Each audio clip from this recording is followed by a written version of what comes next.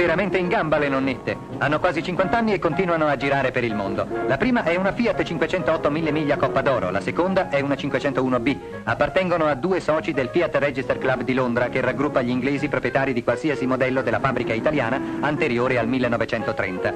Dall'Inghilterra sono venute in Italia e dal modo come si presentano si può dire che godano ottima salute, nonostante i chilometri che hanno divorato attraversando tutta la Francia. A Torino le raggiungerà un'altra nonna, la famosa Fiat Eldridge che fu costruita nel 1907 per Nazzaro e che ad onta dei suoi anni parteciperà alla quarta Coppa di Monza.